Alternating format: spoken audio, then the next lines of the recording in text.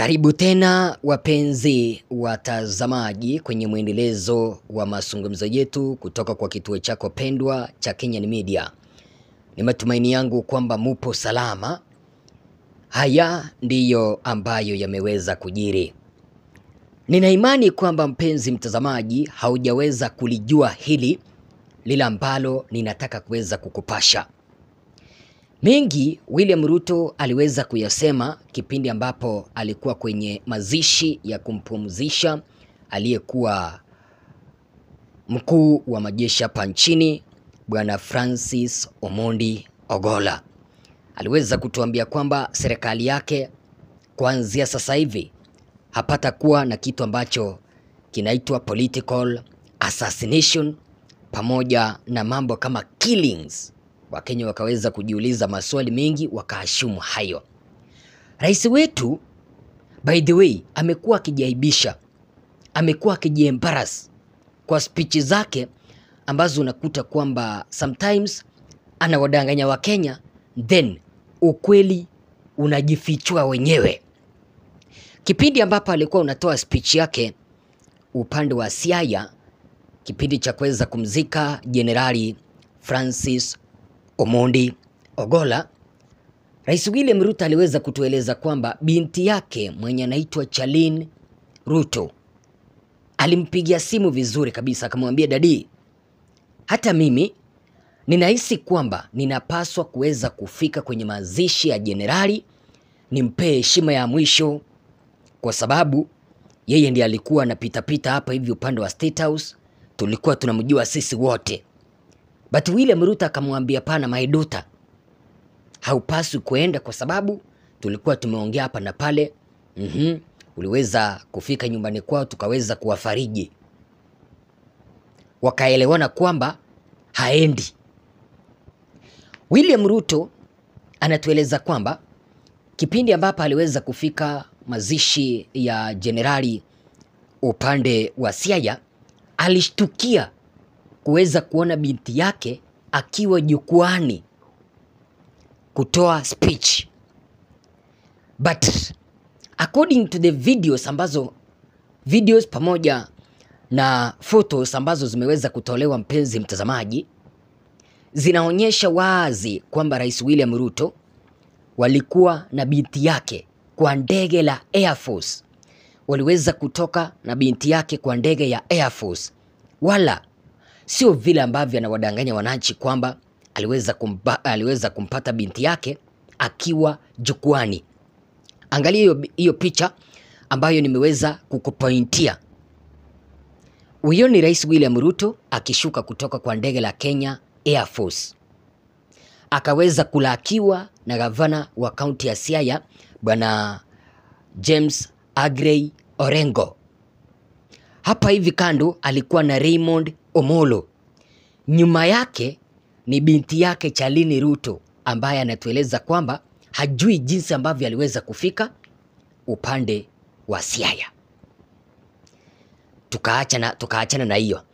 Picha ya pili ndio hiyo bado ikimwonyesha Rais William Ruto anaonekana kwamba amekasirika, ndio tunajua kwamba ilikuwa ni mazishi. Kando yake kuna binti yake, nyuma yake kuna James Agre Orengo, alafu kando yako kuna, kando yake kuna Aden Duale.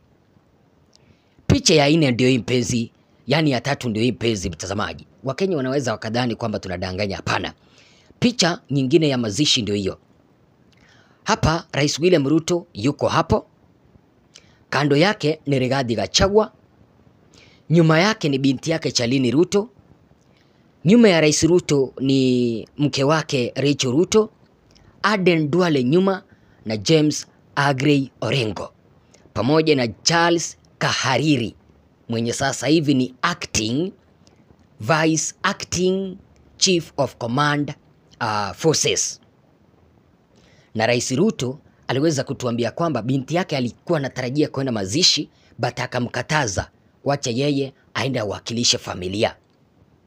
Hata mke wake alikuwa anataka kukataa asiende pale, lakini akalazimisha but walikuwa wameelewana na binti yake kwamba asiende.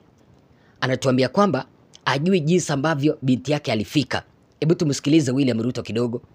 My daughter called me Charlene, she's here. And she told me I must go to the funeral of General Ogola.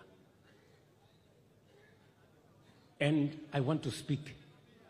I told her, Charlene, first, there is no way you are going, and there is no way you are going to speak anywhere.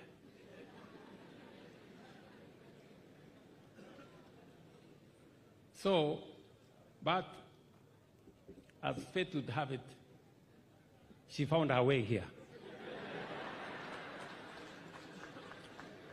and before I could notice, she was on the microphone.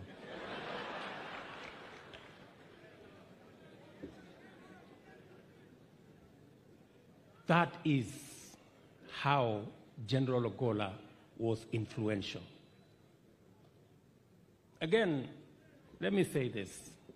I had asked my wife that since we were yesterday in uh, at uh, in Langata, maybe today she can do something else because she too insisted that I must be at the funeral of General Ogola to stand by Eileen because they were a great people to our nation. That is the kind of influence General Ogola had. By the way, nimeweza kugundua kwamba rais wetu is a professional liar. Anadanganya, lakini photographers wake wanamu embarrass kwa sababu hizi picha zimeweza zilikuwa shared upande wa Twitter pamoja na Facebook na wale admins wake ambao wana upload na kuweza kuandika maneno according na, according na vile ambavyo anawaambia. Sasa watu wanauliza kama rais anatuambia kwamba ajui jinsi ambavyo Chalini Ruto aliweza kufika jukwani, how comes viongozi wengine wa Azimio la Umoja wa Kenya walikuwa wanazuiliwa wasije wakafika kwa yale mazishi because we have two leaders of Azimio wenye walijaribu kuzuiliwa wasiingie kwa mazishi, wasiingie kwa VIP dais. It's so embarrassing, mpenzi mtazamaji, kipindi ambapo maafisa wa polisi wanazuia viongozi wa Azimio wasiende kufariji familia ya Francis Omondi Ogola, lakini serikali inaruhusu mtoto wa Ruto anaingia kwenye jukwaa kipindi ambapo hakukuwa amepeana jina kwamba anakuja. Tuko na viongozi wawili. Tuanze na kiongozi wa kwanza mwenye aliweza kuzuiliwa na akaonyesha kutoridhika kwake ni George Wajackoya Pat, Party Root, eh, inaitwaje? Root Party Leader. George Wajackoya anatueleza kwamba kipindi ambapo alikuwa ameelekea kuifariji eh, kuifariji familia ya Ogola aliweza kuzuiliwa na maafisa wa polisi. Asija akaingia jukwani, na anasema kwamba kitu kile hakikuweza kumpendeza kabisa kwa sababu kilikuwa kind of embarrassment. Sasa George Wajackoya anauliza hivi, hata viongozi kwenye mitandao ya kijamii wanauliza hivi, how comes maafisa wa polisi wana allow mtu ambaye alikuwa anatarajiwa ama mtu ambaye hakukuwa anatarajiwa kufika kwenye mazishi ambaye ni Chalini Ruto, lakini wanafukuza mtu ambaye alikuwa amejitolea na kuweza kupeana jina lake kwamba atakuwa kwenye mazishi kama George Wajakoya. Ndio hiyo kanda. Ene, nimekuja Matanga. Matanga inaendelea kule ndani, ingawa tumeingia hapa tumechelewa, lakini wale ambao walialikwa ndio wameingia, Eh, na hiyo ni sawa tu. wewe umehisi vipi kukaa hapa nje kutoingia pale ameingia, mtoto ya Ruto can go in, na Wajakoya third most powerful man in the country na katazwa. Si ni upuzi? How can Ruto's daughter be allowed to go in na Wajakoya anakatazwa nasukumwa nje? That's bullshit. Thank you very much. Okay, sir. Thank Na kulikuwa No, na hafla no, nyingine no, ile no, no, fisi no, no, ile no, no, no. huyo tumekuwa naye uh, Wajakoya ambaye amesema ni sawa tu uh, ilivyotokea hapa, manake mkiona tuko watu wengi sana ambao hatujapata nafasi kuingia kwenda kumsafirisha katika nyumba yake ya milele Jenerali Francis Omondi Ogola, lakini tumeweza kufika getini kwake hapa na tumekuwa na Wajakoya ambaye ameweza kusema kwamba ndio hajaingia na ameona mtoto um, wake Rais William Ruto Shalin ameweza kuingia pale. Amesema ni sawa tu. Sasa hatujui kama ni sawa tu, hii inabakia kuwa sawa tu au kuna dukuduku pale, uh, hatujui ni vipi, lakini tunasema ni shukran sana na tunawapa pole wote wote wa Alego Usongo kwa kumpoteza jemedari wao. Umeweza kuona mpenzi mtazamaji, Wajakoya anazuiliwa, Chalini Ruto anafunguliwa geti, anaingia.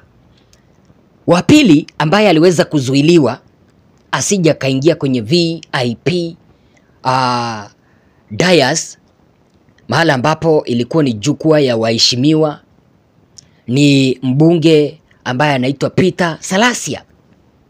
Peter Salasia kutoka muungano wa Kenya, wa Azimio la Umoja wa Kenya kuniradhi, vilevile aliweza kuzuiliwa na maafisa wa polisi eti kwamba asija kaingia kwenye dais.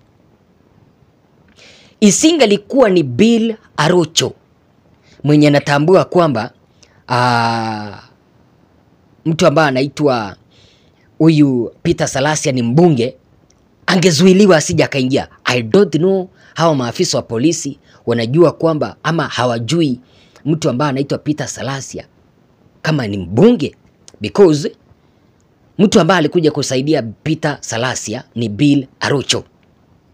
Bill Arocho kipindi kimoja alikuwa kwenye muungano wa Azimio, alikuwa na provide security but akaja akavuka muungano eh, muungano wa Kenya Kwanza. Sote tunaelewa kwamba kila mtu anajitafutia unga hatuwezi tukamkosoa, kila mtu anajitafutia unga. So alipoweza kuingia kwenye serikali ya Kenya Kwanza, akaweza kupewa kazi ya kuweza kuhakikisha kwamba ana provide security to VIP leaders. So bila Rucho akarealize kwamba mtu ambaye anaitwa Peter Salasia alikuwa anafukuzwa na maafisa wa polisi asija akaingia kwenye dais, akakimbia mbio na kuweza kumnyoshea mkono. Na unajua kipindi ambapo serikali imeweza kukualao kwamba sasa wewe utaweza kuprovide security into VIP uh, leaders, ni ishara kwamba yeye ni mmoja wa security team. Kipindi ambapo Bila Ruch aliweza kumnyoshea mkono, wale waka, wakajua kwamba huyu ni VIP, wakamruhusu mtu ambaye anaitwa Peter Salasia akaingia. So Peter Salasia George Wajakoya wanazuiliwa, but Chalini Ruto mwenye babake anatudanganya eti kwamba aliweza kusinik mpaka akafika pale, anaruhusiwa. Not leave my because He is God. He has seen beyond today. He has seen beyond the next hundred years, and He saw that this was good. So I give thanks. Let us not entirely lose ourselves in the morning.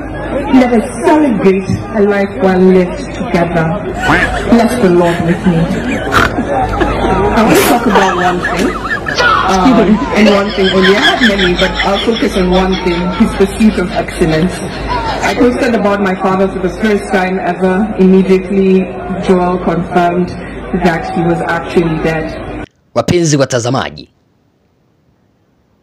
unajua aibu zingine ni sisi amba, ni sisi wenyewe tunajiletea.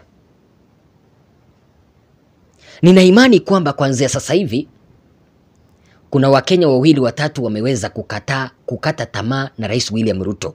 Hawatakuwa wanamwamini jinsi ambavyo walikuwa wanamwamini tangu hapo awali,